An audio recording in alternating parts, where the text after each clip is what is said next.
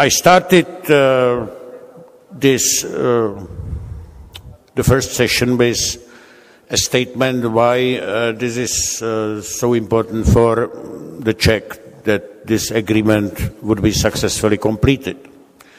And I said that uh, A, we are a trading country, so we do have the interest on opening the trade and the related matters. But I have also said, and that's the B, uh, the transatlantic link, transatlantic bond is something vital for us, uh, approaching from other perspective. And the fact is that uh, the security relationship, uh, although it's embodied in NATO, uh, do have does have some uh, problem, or it's dealing with uh, this age of austerity, lack of finances to the defenses, etc. And therefore, it's important to cement the relationship also in the other area like economy. And thus to give the new energy to the transatlantic bond as such.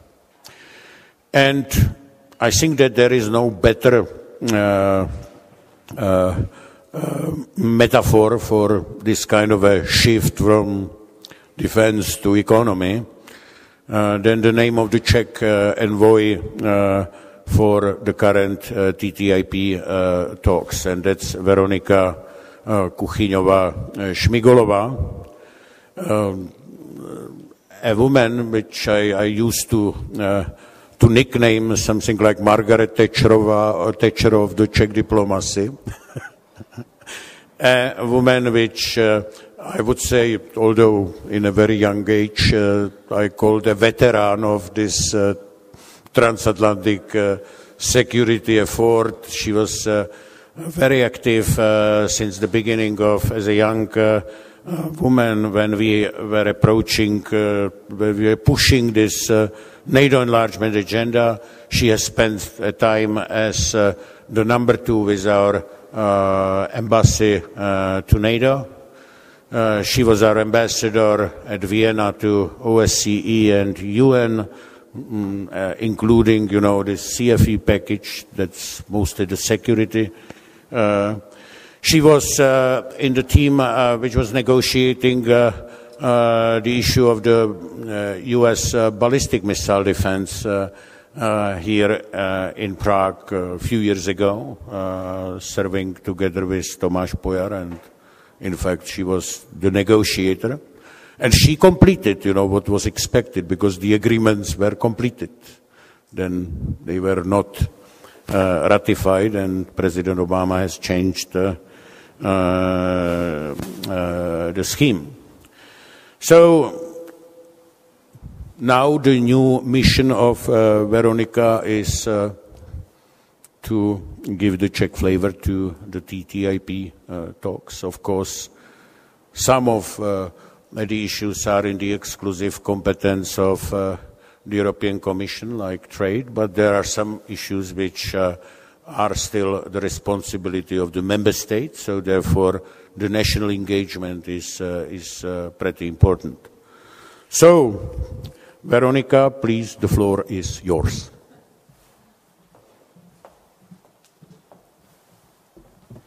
Good afternoon, and thank you, Sasha, very much for all the compliments you have said about me. Uh, uh, I just hope that uh, someone will not change the framework again and the, the TTIP will not go the same way as our uh, ballistic missile defense agreement a few years ago.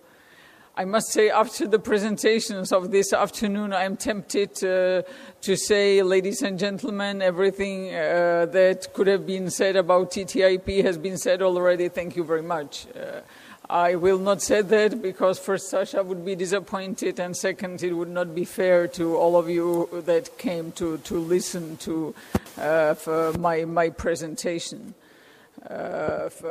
Also, as a government official, I am uh, in a difficult situation here because the negotiations are led by the European Commission and the EU should present a united bloc here.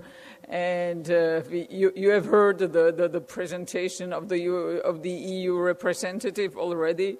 If I present a different view, uh, I would uh, we be weakening the EU position. If I uh, just support the, everything that has be, been said by the EU, I could be accused of not defending enough the, the, the Czech interests.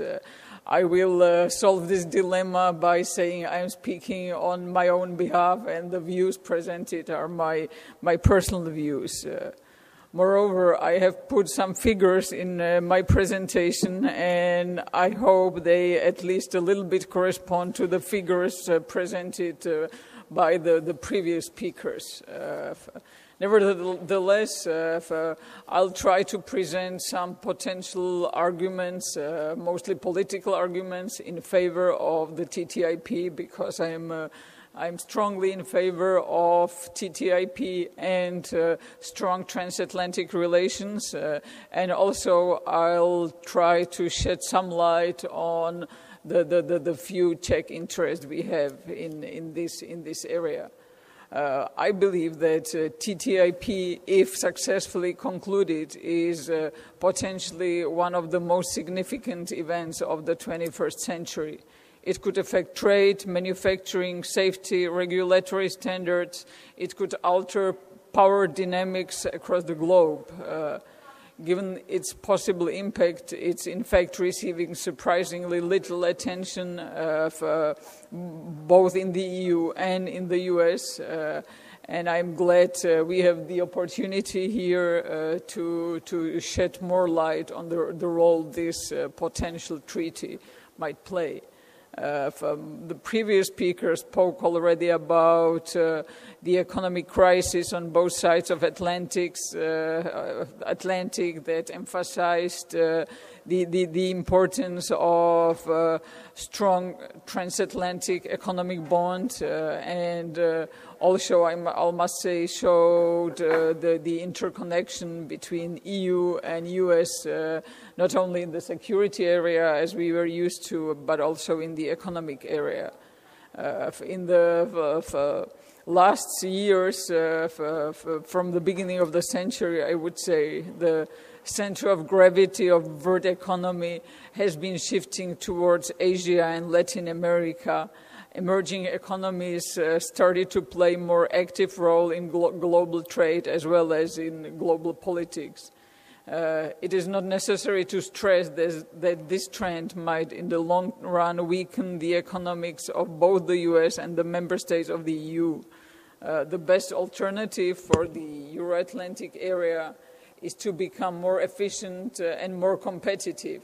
Uh, again, the figures shown by some of the previous speakers uh, already already pointed to the fact that uh, EU and US produced together almost half of the world GDP. I think it was 44% uh, on the on the slide shown here. My my figure here says 46%, but that's not such a big difference. Mm, uh, uh, recognizing this, uh, uh, for there were, and it was already mentioned again uh, by by the previous speaker for, for many years uh, the, the attempts to, to, to more closely coordinate uh, EU and US in the area uh, of, of, the, of, of, the trade. Uh, successful conclusion of such an agreement uh, of, I think would not only benefit the EU and US but also strengthen the world economy in, in, in general. Uh, I think uh, that uh, the, there are uh, differences uh, between uh, uh, EU member states when discussing the, the, the impact of the TTIP, but there is a general agreement that TTIP is too advantageous to all parties to, to, to, to reject this, this possibility.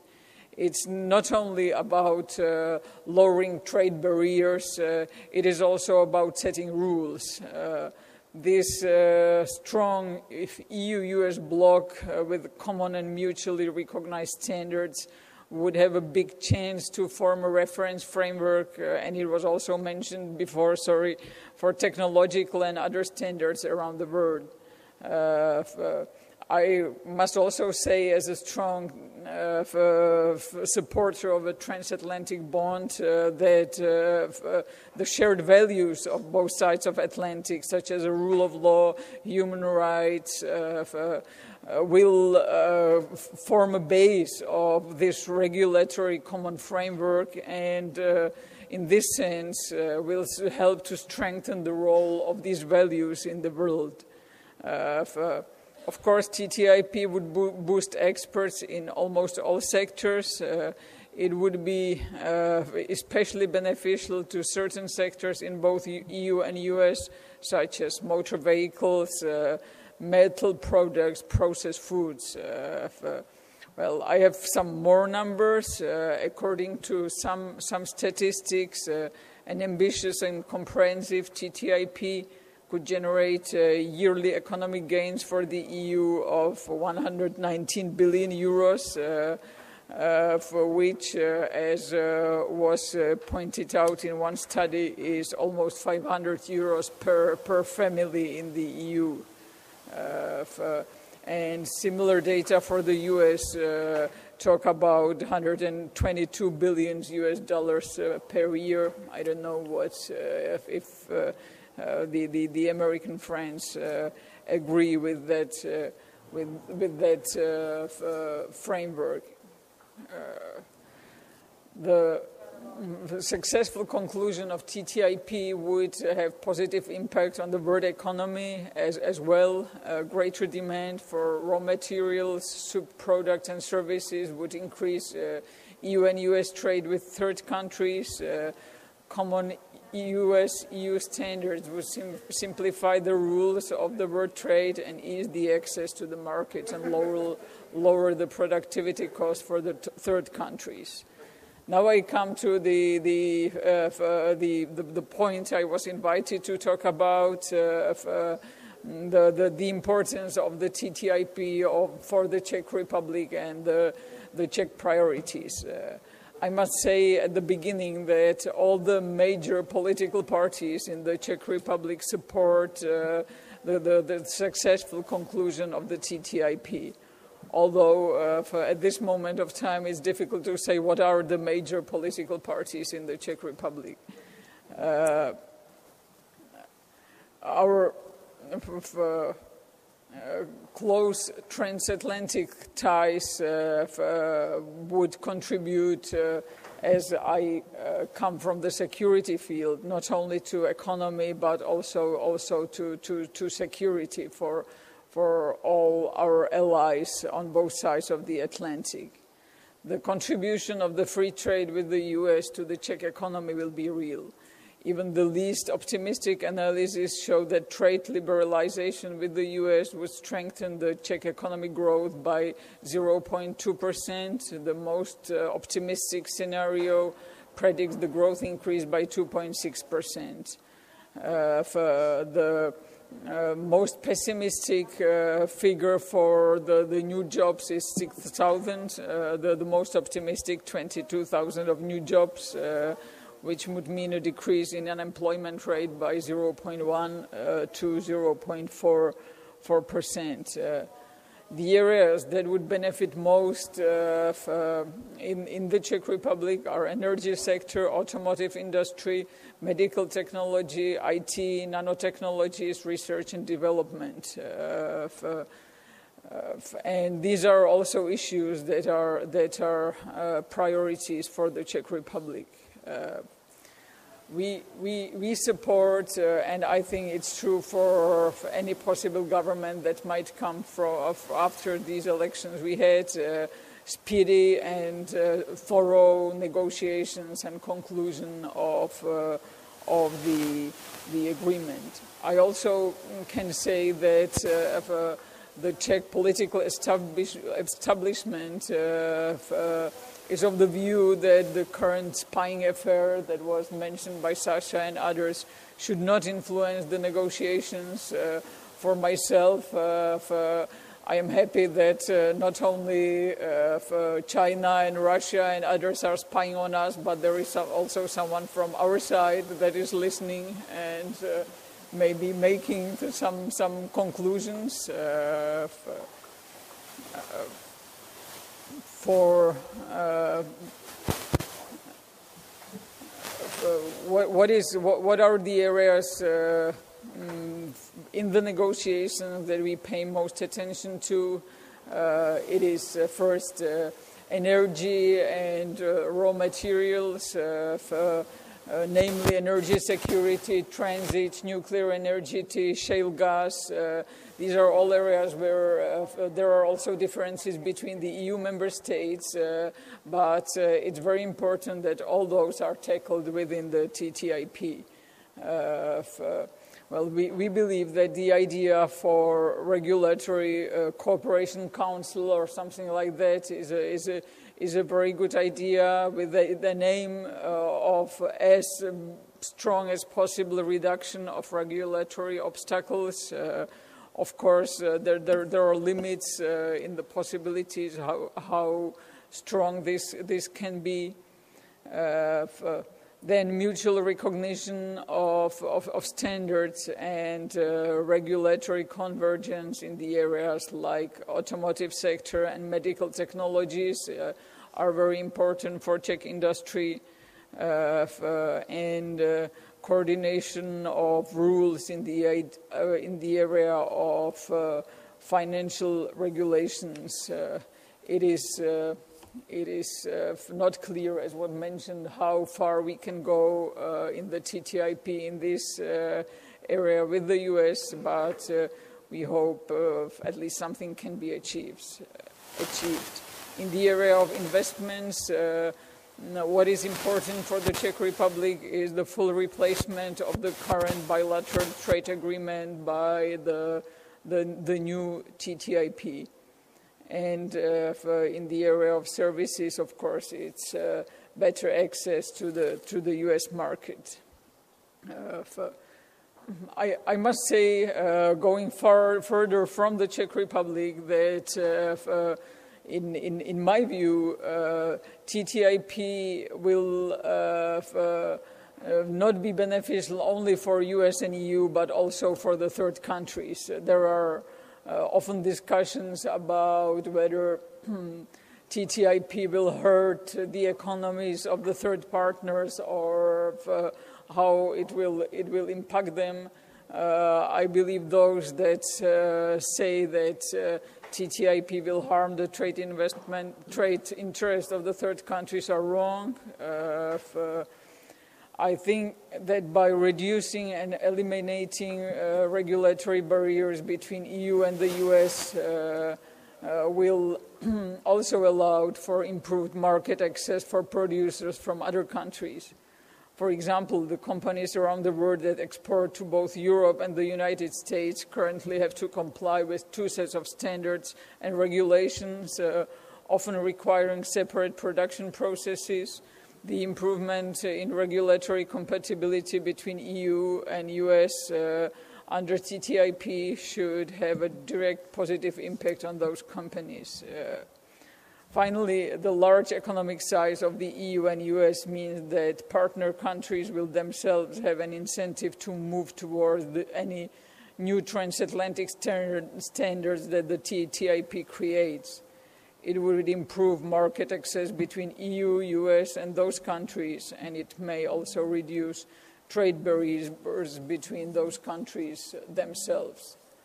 Uh, the creation of massive trade bloc will also boost the competitiveness and expand the market share of the countries that play by the rules. Uh, on the other hand, of course, it will weaken the countries known for dumping unsafe products and property rights violations, and this, in my view, is, uh, is quite all right.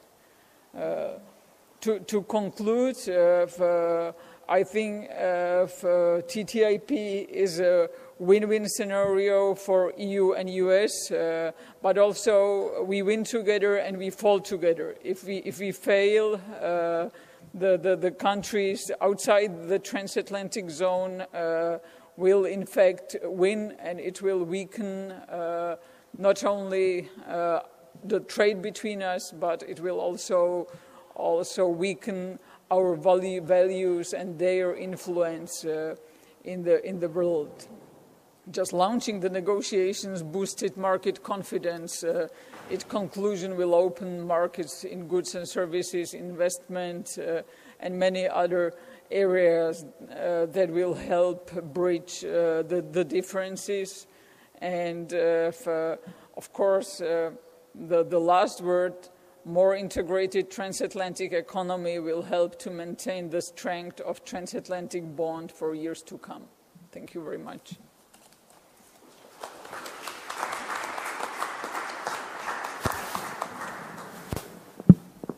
Well, thank you very, very much. Well, uh, the next speaker uh, would talk from what I would say is something in between the Czech and the global perspective. That's Jan Mühlfeit, currently works as a uh, chairman Europe for Microsoft. So uh, somebody who spent most of his time somewhere in between Brussels, Seattle, Prague, also Lithuania this year because uh, he is also the advisor to the Prime Minister of Lithuania. Lithuanians has, uh, uh have the presidency uh, in the EU uh, right now. how to introduce him? It brings me back somewhere to 1998. I was in Washington as the Czech ambassador, and Washington and Brussels had launched uh, the new transatlantic uh, economic partnership that was the second attempt after NTA. Uh, it was called TEP, Transatlantic Economic Partnership then. And as a part of that exercise, uh, they have also launched uh, something what they called, or we called, although we were not a member of the EU at that time, uh, what they called uh, the Transatlantic Business Dialogue, TABD. We uh, were also invited, and I was, you know, picking up the phone and calling the various uh, uh, Czech businesses, the big businesses like, you know, ČEZ. I do not remember who was the, the, the president or the CEO at that time. Uh, but basically, any my uh, attempts uh, to approach ČEZ, to approach uh, Unipetrol, to approach what it be now as a O2 and was Eurotel at the time, with the offer to participate, were not successful because those Czech businesses um, were not used to uh, uh, to the global uh, operation. And the idea that they would have to pay for something what would not generate immediate benefit uh, was something beyond uh, their horizon. The only guy who was, uh, at, at, least as, whether I remember well, uh, was somehow the part of this uh, transatlantic business, business, dialogue was uh, Jan Mühlfeit. Then he was not the chairman Europe, he was the, the chairman of the Czech Republic operations. and um, right now, just frankly, if I am talking in the corridors of Brussels uh, about uh, about the Czechs uh, having some influence. With all the respect to uh, the politicians, with all the respect to the clerks, there are usually two guys who have some uh, access, uh, and that's Ivan Hodač, who's a long-time president of the European Federation for the Automotive Industry, logically, you know, because we are automotive power uh, he was very, very active uh, when this uh, last free trade agreement on the EU, EU playground has been concluded.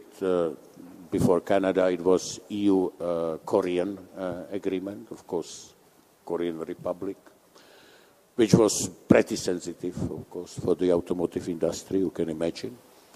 And uh, that was the guy who was uh, who could you seen uh, anywhere. And uh, Jan Mühlfeit certainly has also um, very uh, rich experience dealing with the EU because uh, it was Microsoft who paid the largest uh, fine uh, ever uh, dealing with the EU regulatory measures. So I am very glad that, uh, that Jan Mühlfeit has accepted my invitation and come to Prague to speak to you. So please, the floor is yours.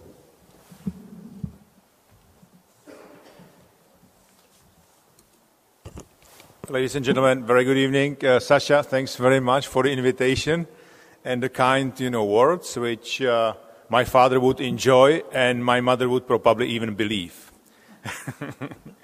uh, I would like to talk about three big uh, mega points about technology and how technology is influencing economy in general, but also how it will influence TTIP uh, Second point on, I would like to mention, you know, global competition and competitiveness and compare EU and US because I was part of the advisory group working for World Economic Forum two years ago and we did some interesting study. And last point, I have a lot of, you know, numbers and graphs from Dan Hamilton uh, study on how important is this, you know, relationship to give even, you know, uh, you more shooting powder if uh, you can, you know, promote the agreement. Uh, I'm the software engineer, uh, as uh, some of you may know, uh, from profession. And it's interesting because uh, today what I carry here, this mobile phone, it's just ordinary smartphone. But the funny thing is that it has 10 times more computing power than what was computing power of, you know, all NASA when I was born in 1962. It's called Moore law, and it says, and I will be a little bit technical now, it says that every second year you are doubling the density of transistors on the chip.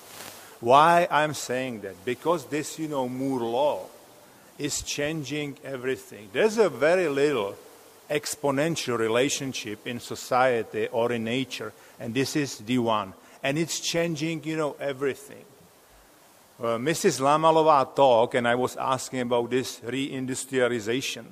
I think because of the Moore law and all technological changes, we will not change what will be done in economy, but we will very significantly change how things will be done in economy. And I will give you one example. I was recently in OECD talking to a couple of people there, and I asked them, if the new car is produced in France, Germany, or Czech, how the car is captured in the statistics. And they said, it's a car, it's a piece of, you know, iron, so it's a car. Okay, I said, no. The, the new, if you take just new Mercedes, I mean, you can, you know, buy it here, right? It's a 16 full-fledged computers. And the cost of that car, 60% of the cost, is basically software. So the product is software product. It's no more hardware product. This is what Germany or the US is now doing with what is called reindustrialization. It's not only like moving back to the traditional industries, uh, but it's taking traditional strengths of those industries, like you know, automotive in Germany, engineering, whatever, putting their high tech and moving to the next you know, level, basically. That's what I call reindustrialization. That's the reason why you know, United States is successful in export and trade and why some of the countries are more successful in Europe than the others. I think this, you know, Moore law is super important from the technological standpoint, but also from the uh, economical uh, point of view. And as, was, as it was discussed, you know, before, uh, how much, you know, uh, TTIP is concerned also about the regulation. I give you another example where this, this negotiation can help not only industry like us, but all, you know, society here in Europe and in the United States. Healthcare, it's 16, 17% in the US, something like that. Europe is 8 to 12% of the GDP, depends country to country. If you take just chronic diseases, it's in Europe, it's 6.8% of the overall European GDP. Because we are not able to connect kind of the well-being and lifestyle of the people with the healthcare. And I tell you why. Sasha mentioned that I'm involved in the transatlantic business dialogue because we talk for like seven, eight years about the patient health record. What, what should be the you know, uh, uh, basically the format of the record. We can't, by the way, agree even in Europe, right? So it's like French are saying, if it's the French record, that's fine. That's the European record, right? And we need to agree because it will not, not only save money, but it will, you know, enable people to have a better lives here and also overseas and save, you know, money and make healthcare better. And obviously there is opportunity, I am open with you, there's also opportunity for industry. So that's the, that, that's the, the, the, one reason, which is the trade reason, it's quite obvious. But the other one I tried to figure out when you, you spoke about the regulation, this is one example where it would be super helpful to have agreement as soon as possible on that, okay? So uh, now on the mm, uh, uh, competitiveness, there are like, uh, it's just for a little bit of your, you know, uh, uh, education, there are like two models of the competitiveness how the national competitiveness is measured. One is IMD. Uh, this one is the World Economic Forum, and basically it measures uh, 12. There are like 12 different, you know, pillars. I, I will not uh, drill down on, on those, but it compares uh, different, you know, subjects of the economy. It's not only GDP and you know economy like employment and so on, but it's also higher education, healthcare, the size of the market, infrastructure, and so on. What is important, and I, I, don't know if you can, you know, read it, but what is Im important, if, if you take uh, top 10, there are obviously like Singapore number two, uh, I think uh, it's Hong Kong number six, and then Japan number eight. But the rest of that, it's like US is number five. There are, you know, European countries. So it's a, it's a mix of, you know, US and the, the European countries. And I, what is, what is uh, quite interesting to show that this is, in fact, second time when Germany is uh, a little bit above, it's just, you know, one uh, point above the United States. But to say so, I, I try to say that, you know, if you have open relationships, and I think open trade is about the open relationships, it means also the higher competitiveness. There is a, you know, clear correlation uh, between those two. Now, uh, let me talk a little bit on this, you know, interesting comparison. We took uh, two years ago, basically, the EU 2020, for those of you who are perhaps not familiar, it's like the agenda how, you know, uh, EU should compete in the future. There are, you know, seven uh, different pillars of that, you know, competition. So we, we've taken those seven pillars and we compare basically, you know, EU with the, that's the uh, blue one, uh, with the United States, that's uh, red, uh, Japan, it's yellow, and then, you know, dotted, it's Canada.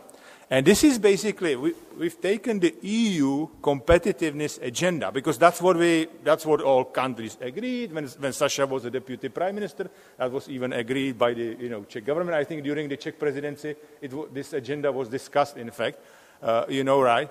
And as you can see, with the exception of, you know, social pillar, Europe is really lacking, you know, uh, behind. There, there, are, there's like, uh, uh, in, if you, if, I, I, need to be fair, uh, sorry, with the exception of social and environmental, where US is lagging behind, Europe is not doing that great. And it's a European, you know, agenda. It's our own, you know, plan, right?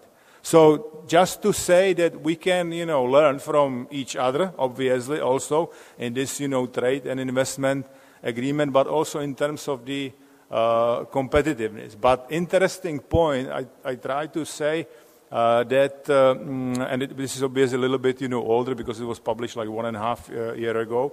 Uh, there is a still, uh, you know, in, in terms of the competitiveness, there's a still way to go. Now, uh, let's talk a little bit about some of the numbers, how this, you know, relationship is important.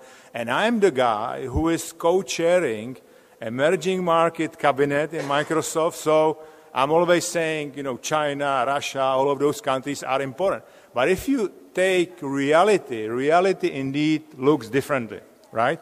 And uh, just if you compare, this is the GDP uh, comparison, uh, in terms of the uh, PPP, uh, purchasing parity power, there's a population and other you know elements. But the first line, if you take U.S. and Europe together, it's almost 43%. The third column, as you see, it's Asia, and the, the, the other one is commodity producers. Now, uh, this is quite interesting. Uh, it shows the GDP growth uh, on the different uh, uh, time frames.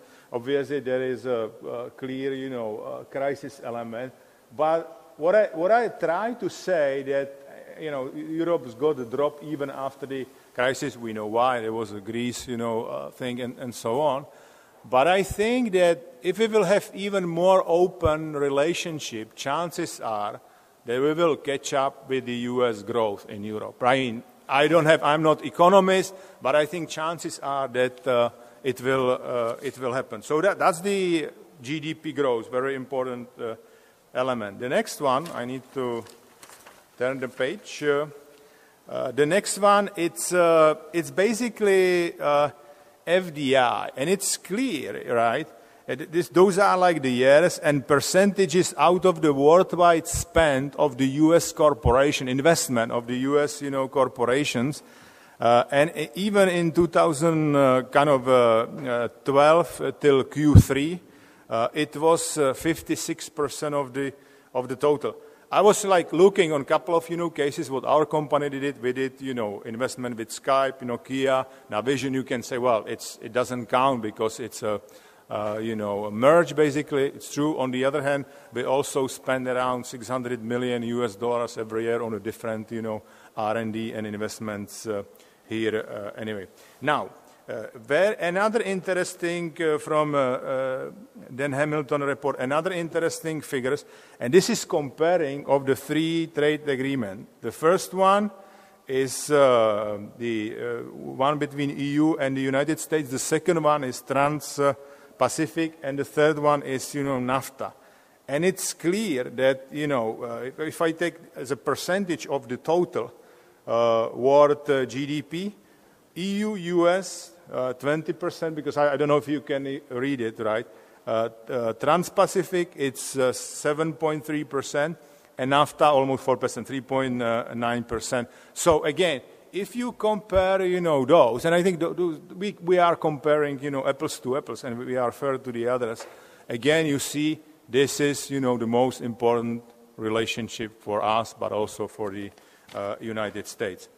Uh, now, they call it this slide, you know, power brokers. Uh, kind of the, the first, you know, uh, is uh, EU America. Uh, the Asia is the second column, and Chindia and Chimerica uh, are like the third and the fourth column.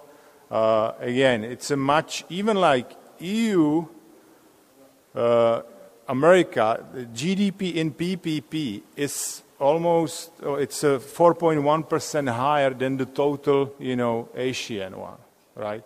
So uh, we are, I'm, I'm the guy uh, who is like, yeah, we need to invest as a company and even as EU in relationship with Asia. On the other hand, you see that the reality is still there, and you, you may say, well, the dynamic is there and so on. It's true, you need to have balance in whatever you are doing, but still this is a, a, a most important uh, relationship.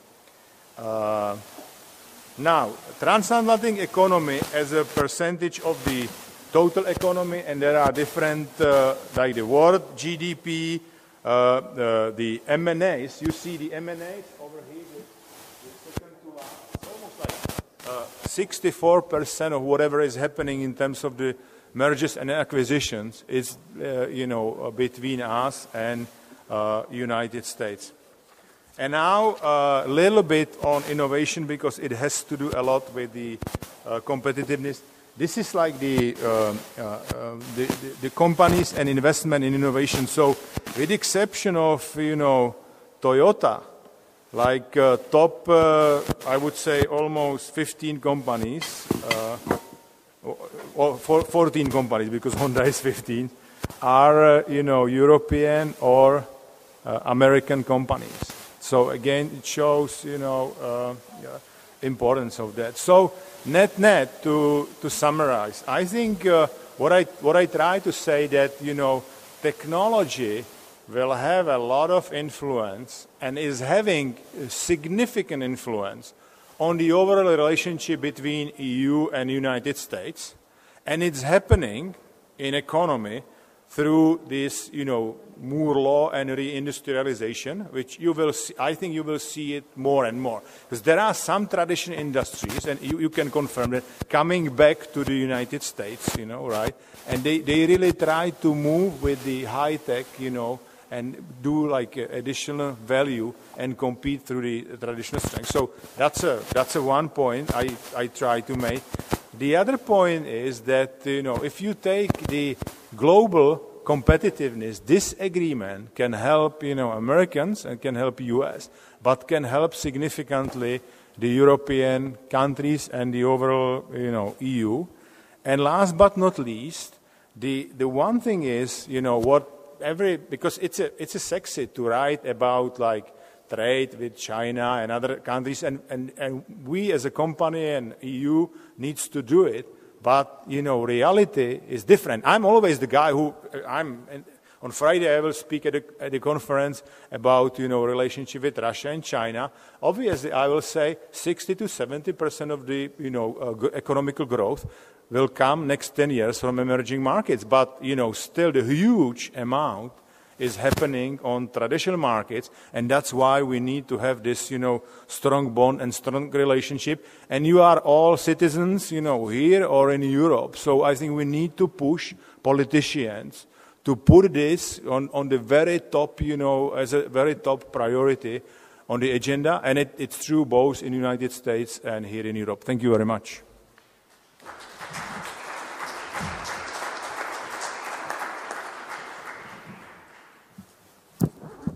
Well, I like it, this Chimerica versus Ameropa or Oimerica. uh, okay, the time's come for your questions.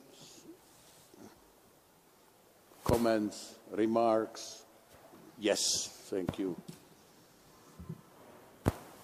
Uh, hello, my name is Michael, and I would like to ask you a question. Uh, this treaty uh, is also tricky a bit. I mean, uh, to fight all the protectionists, uh, the states, I know it's very hard, but is it a part of a bigger plan? Because I'm thinking about bigger treaty, for example, with Australia, New Zealand. These are also well-developed markets, and the treaty with them might be also important and interesting. Is there any idea about this? Thank you. Did you understand whether, you know, what to do with New Zealand, Australia, to renew the coalition of the World War One and World War Two? No, I, look, all uh, the things is, it's always, uh, to me, it's always about you know resources. You have some limited resources, so you need to apply them. I think all of those relationships you mentioned are very important, and it, doesn't mean. And I'm not here like the European Commission or whatever, but EU, for example, is you know doing very good progress in negotiation with Canada, as I know, because I had a, yesterday a lunch with the Canadian ambassador here, here in Prague. You know, so I think it doesn't mean that you know, EU or on the other side, US, is not, you know, working on those uh, relationship. I, I, only try to say this is the most uh, important relationship in the world still, and it's clear, like in economical sense, but also in the political sense.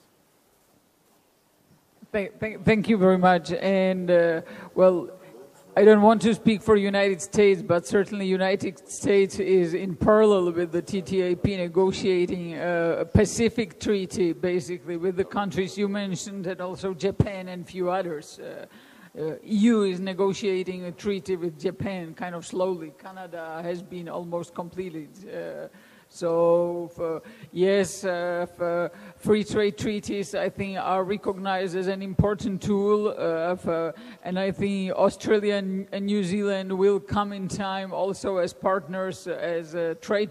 Well, there are import, they are important trade partners for for the EU, but. Uh, there will come time for, uh, for, to, to have a treaty with them as well. Only they are a bit too far and a bit two small uh, partners at this moment to start with uh, exactly with them.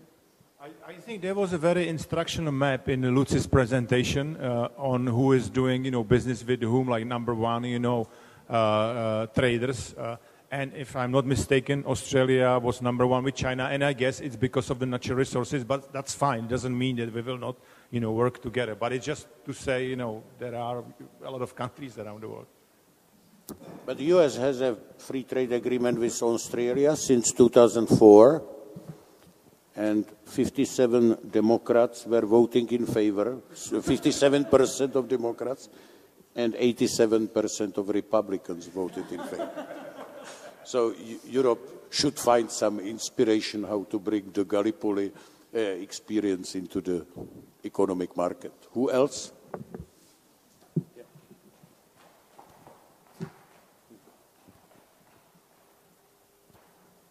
Good afternoon, ladies and gentlemen.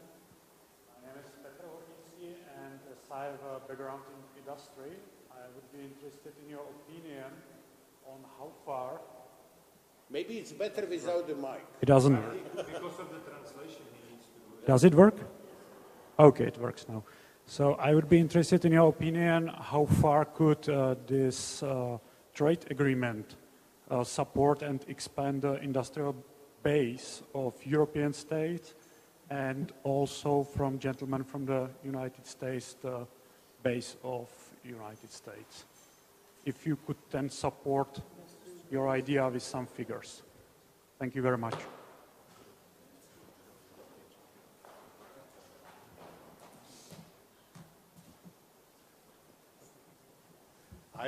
I, don't know. I, I don't know if I fully understand what you mean by industrial base.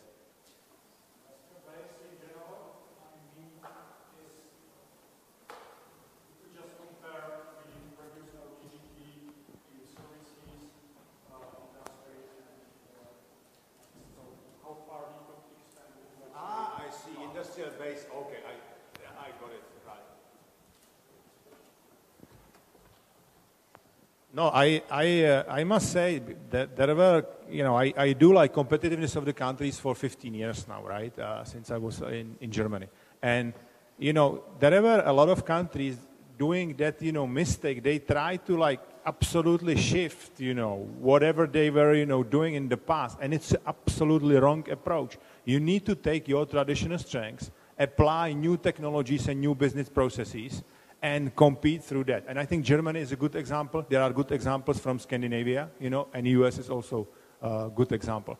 Uh, UK, I mean, they struggle still because they push industry out. There's a lot of financial industry, uh, which is now uh, kind of, you know, limited. So they, they try to do reindustrialization in the UK, and I hope that they will be, you know, successful. So I think with the, with the new technologies, your industrial, it's good to have like 60% of the services, that's perfect. But I think it will blur together. Industry and services will blur together. Because if you take like cloud computing, is it, you know, service? What is, is it industry? What is it? What I'm afraid more, especially from the European standpoint, is a digital single market, which does not exist today, right? So, because uh, today, I mean, you, you don't have like, you have a free movement of, you know, almost free movement of the people, uh, products, services is the question mark still, and the money that's probably almost okay. But digital single market does not exist. We did, I was in some group, we did some research, and if there will be digital single market enabled across Europe, it will be additional four points in the, in the GDP growth between now and 2020. Uh, you know, Mario Monti put it into the, the report for uh, Barroso like two, three years ago, right? So that's where I'm afraid of, because there are things like with the, with the digital single market. I'll give you one example. Everybody talks about cloud computing and those services, and I was like healthcare or whatever. But today in Europe, it's not even clear if the German government would host data in Ireland, in the data center, in Google or Microsoft or whatever, it's not clear which law applies. Is it the Irish law or the law of the countries in between, or is it a German law? So we need to fix the basics, basically. That's the, that's the point. No, I, I, I don't have much to add. Uh, ideally, the good treaty would strengthen both industry and services on both sides of Atlantic. So, uh, and the, all, all other has been said. Okay, the other question? Yeah. Please, Lutz. I, I have actually a question back to the panel. Uh, do you think in uh, the Czech Republic there's a good understanding of the what the the transatlantic uh, trade and investment partnership what it could hold in terms of benefits and what would need to be done to increase this understanding? So, in terms of public debate, what, what would be necessary, you know, from in your view?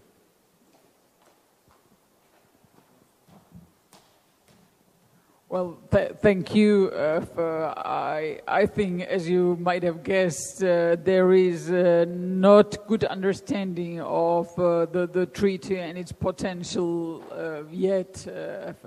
And it's uh, it's quite logical, I would even say, because uh, it's a it's a new uh, it's not a new concept, but the negotiations uh, just started. There was not much publicity.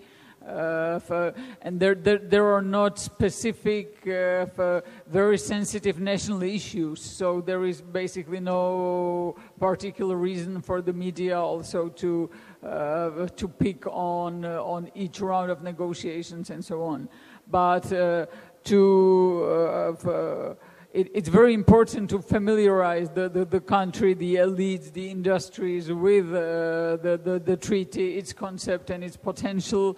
We first need to do more, more conferences like, like several today. We also probably need to do targeted uh, events uh, for, for uh, different selected groups uh, and for, well, anything else uh, that uh, you suggest would be welcome.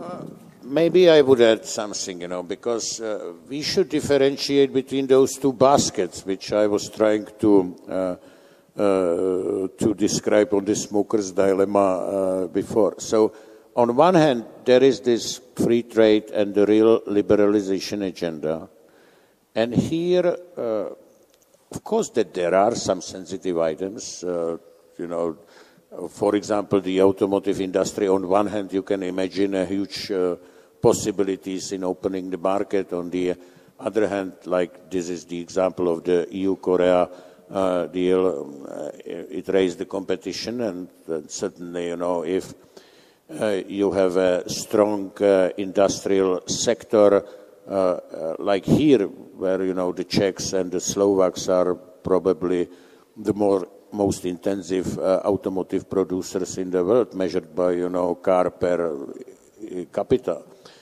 Uh, but still, uh, you know, the public debate is not uh, what is the most important here. Usually, the businesses are strong enough or at least active enough to take care. And uh, I do not remember if, frankly, in the last 20, 25 years when we do have a freedom, any strong measure, public measures, public activism against uh, uh, the free trade as such. Even the trade unions, they did not uh, join. You know, yes, there were some riots uh, during the World Bank and IMF uh, meeting in 2000, but it was rather inflow of certain fashion outside, from outside. But then there is the second basket, and that's this, uh, all those regulatory uh, measures. Uh, on one hand, uh, you know, to eliminate the tariffs on the toilet, to eliminate the quotas on the toilet uh, export imports.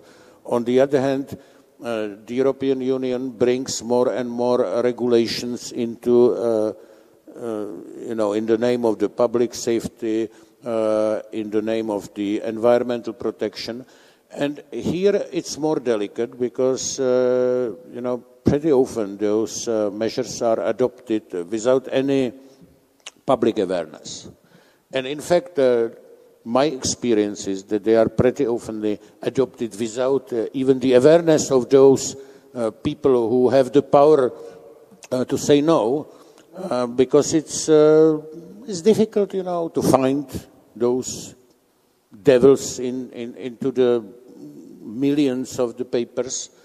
So uh, simply, it's, it's quite often that the, not just the public, but even some uh, policymakers uh, got to know about those specific regulation when it's already in force. When there is an information that something, you know, what Uh, was uh, uh, available on the market should not be available next year because simply there is a ban. And here it's difficult. it's difficult uh, what to do to raise the public awareness, uh, including the, the awareness of those uh, responsible people who are obliged, you know, to say yes or no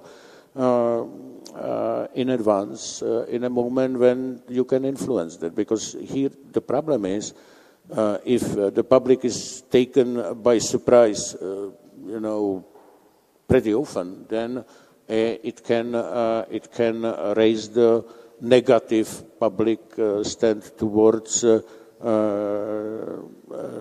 the project as such. So the danger lies, I think, in this second arena more than in, in the free trade itself. And the next question.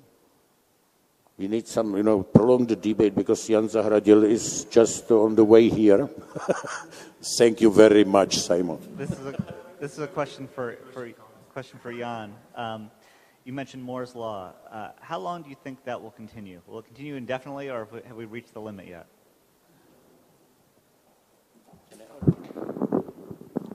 So, okay.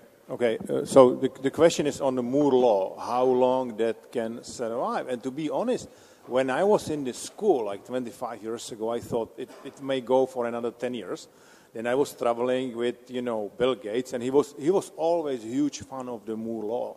He was saying it, it will go for a, a lot of years, but it looks like now, I mean, every, everything, if you, if you talk to res- researchers, they are basically saying that there is no, you know, capacity. There's, there's no issue they can, you know, see uh, with the with the Moore law. So maybe, you know, I'm I'm wrong, but uh, I think, uh, you know, Moore law will bring in in ne- next five years. If we will have this meeting in five years from now, this glass will have probably sensors, and I will be able to figure out what is the temperature of the water who is the producer, and etc. and etc. And it will be connected to the internet, right? That's the that's the power of the of the Moore law, right? If I mean, if somebody would tell you what would be the power of the phones, you know, today the phones are computers, right? That, that's why some you know companies were not successful because they didn't realize that phones are getting computers, in fact. So.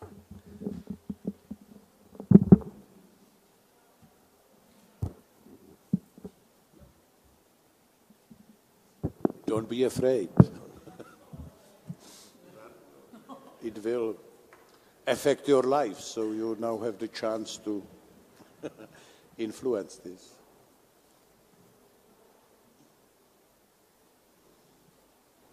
Yeah, thank you.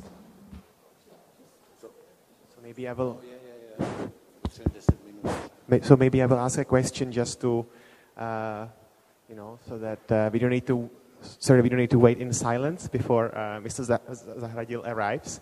Uh, so the question is basically, I would like to refer to what is called as uh, competitive um, liberalization. Um, that um, basically refers to the US and the EU, um, especially in particular in the Asia-Pacific region, uh, whereby you know, both these powers, they are trying to uh, establish various uh, FTA agreements. Uh, so look at the you know, U.S. Uh, in Southeast Asia uh, with Singapore, and um, the latest FTA between the EU and, and Singapore. Look at Korea. Uh, look at Japan now, and so on. So now my, my question is. Um, do you think, uh, in light of the fact that uh, you know now the, the EU-US are negotiating the T- TTIP, um, then um, in, in, the case of the Asia Pacific, you have the EU, the US has been vigorously negotiating the, the Trans, Trans-Pacific uh, Partnership. And some scholars actually they say that the US is actually uh, well positioned to, you know, even more than the EU, because the, EU, the US is basically negotiating a comprehensive agreement in the Asia Pacific, and at the same time with the EU, that the US is more, you know, will be the, the, the real game changer or its, its you know, FTA policies. Uh, do you think is the, is the US um, will it be even more, let's say, dominant player in the FTA negotiations, you know, the liberalization process and so on? because it's basically negotiating on, on, on both fronts, the important fronts with the, with the, with the, you know, with the, because the, EU, US, sorry, the EU has been really picking, you know, they have uh, concluded only with um, the FTA only with, uh, with Korea and with Singapore. And it, it, say regarding ASEAN countries, they haven't really gone very far.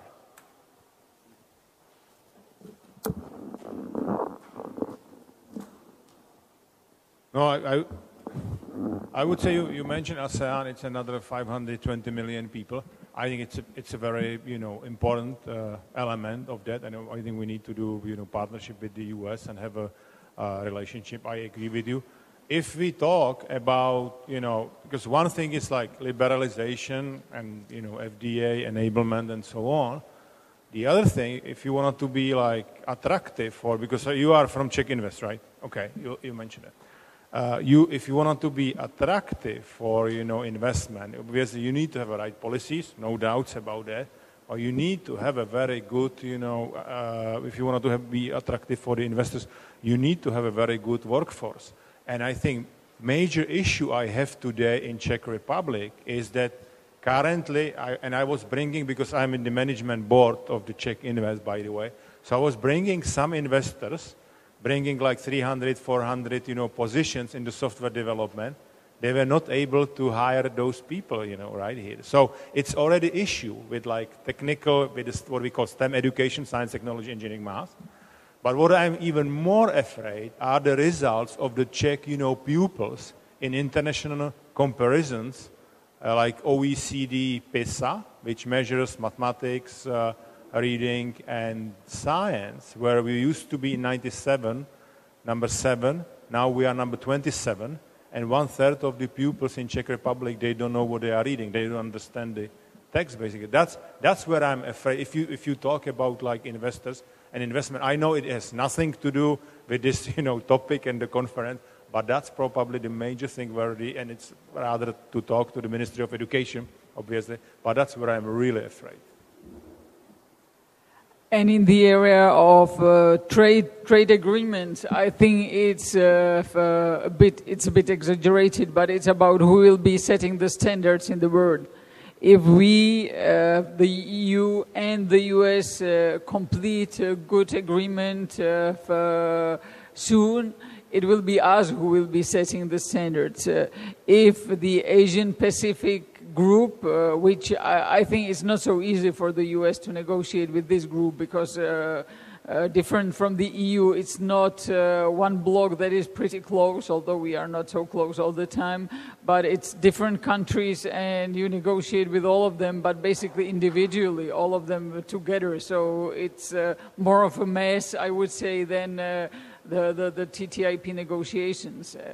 and if, if, they, if they agree uh, uh sooner than we do, basically uh, these standards would be relevant also for our negotiations. But I don't think this, uh, this is something that uh, is very likely to happen. But of course, Asian countries are seeing it the same way. They, and they are watching very carefully what we do and how we negotiate because they know they will be affected. Uh, they, the, the, the way they, they work will be affected. Uh, maybe I, I can add some question, uh, Jan. Uh, it's related. Well, the Snowden affair has uh, brought on the light uh, a lot about you know the, the, data processing, data flows, uh, information exchange, and uh, what is uh, uh, Microsoft is an IT company.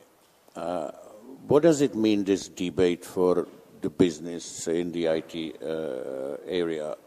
Are there some uh, uh, regarding uh, more tough regulatory measures, or um, on the other hand, you see some opportunities in this because it, it, it is somehow interlinked. Obviously, I think uh, you know uh, uh, the, our friends in the audience they can you know read the press here and in international press. So I, I don't want to repeat all of those you know stories. I was just recently in Berlin, two weeks ago, last week in, in Paris. It's not very helpful for the business, and not only, it's, you may think, hey, it's only bad for American companies, but all, you know, all companies, whoever is doing business in the U.S., it's exposed the same way as American companies are exposed, point, you know, right? So we, what we try to do, first of all, I think it needs to be solved on the, you know, uh, level in between EU and uh, Uh, US or EU countries and, and the US because I, I do think this is a mainly political issue. For the business, we are not afraid there will be more regulation, but we are rather asking for you know, more clarity, like in what cases are we really obliged? And you can read the Microsoft you know, webpage, what exactly Microsoft is doing, what we are obliged to do, and so on. But it's still a lot of unclarity what we are you know, obliged to do with some of the data. And it's true for the US, but it's also true for uh, EU. Well, I, I, I, never heard about spies that are deterred by regulation, so uh, I, am not sure that new regulation would, would solve uh, the, the, the, the, crisis. Uh, I rather think that, that, that, that, some issues that normally are better unexposed were unfortunately exposed, and things that uh, a politician assume and silently if, uh, expect uh, were uh, brought to the open, which is unfortunate for, for basically everyone.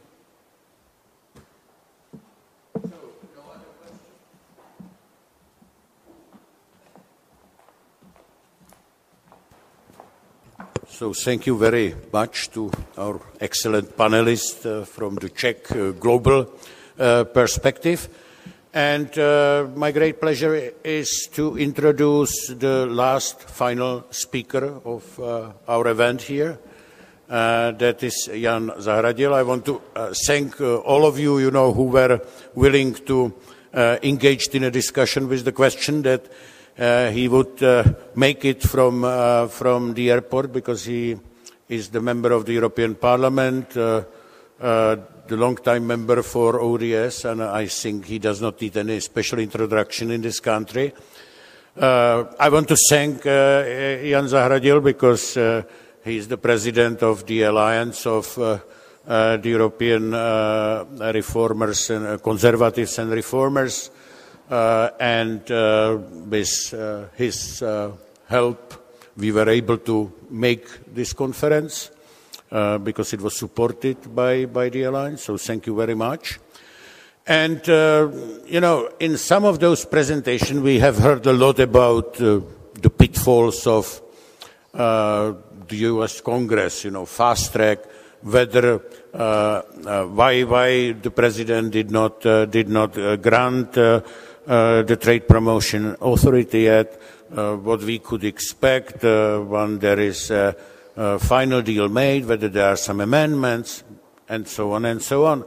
But the European Parliament uh, has not been mentioned at all, although uh, it's an important institution because without the European Parliament consent, uh, there would not be any any any trade uh, any trade agreement in future. And with uh, this growing activism of of, of, of uh, the European Parliament, we can also uh, expect a lot of say. And in fact, uh, uh discussing this influence of, of the Snowden uh, espionage affair, uh, European Parliament is a traditional playground, you know, where those things are being being discussed. So, please, Jan, the floor is yours.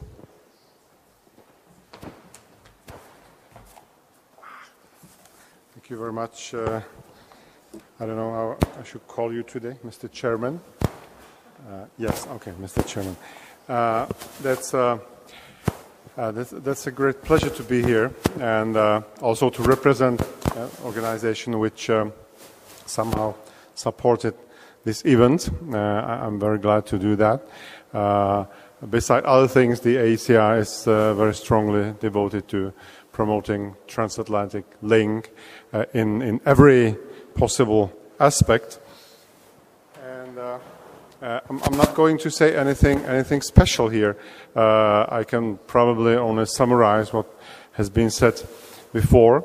Um, on one hand, the, the US EU partnership, uh, political, economic, whatever, uh, seems to be very natural. Uh, on the other hand, uh, on a second look, uh, sometimes it turns to, into a, a, rather complicated thing because of a few aspects. we in Europe might have had a feeling that uh, Mr. Obama and his administration didn't pay that much attention to uh, US EU uh, relations in recent years like the previous administrations. And on the other hand, also uh, the atmosphere and the nature in, in, European institutions, and most particularly in the European Parliament, uh, have changed. And uh, I'm, I'm, sad to say that, but uh, it's, it's, true, it's fact, that more united Europe and more powerful European institutions sometimes means uh, less pro-American Europe and less pro-American European institutions as well. Uh, so uh, uh these ambitions of the European Parliament mentioned here by Mr. Vondra that are here, like it or not, and that have been even codified in the last treaty, in the Lisbon Treaty, in my best hope, will not exceed certain levels and uh, will be at the end driven by a very pragmatic and realistic interest of EU and, and European countries as, as well. Uh, I can only say what probably has been said here before, that the EU and US are undoubtedly global economic and political players. The EU economy is currently worth some 12.6 trillion and the US economy about uh, uh, 11.5 trillion, both, both in euros, not in USD, euros. So uh, each of them, uh, and even more both together, might outweigh other key economic players such as China or Japan. And therefore, a trade and investment deal between the EU and US uh, is therefore uh, likely to be a very unprecedented deal by its scope, by potential benefits, and by all uh, ramifications.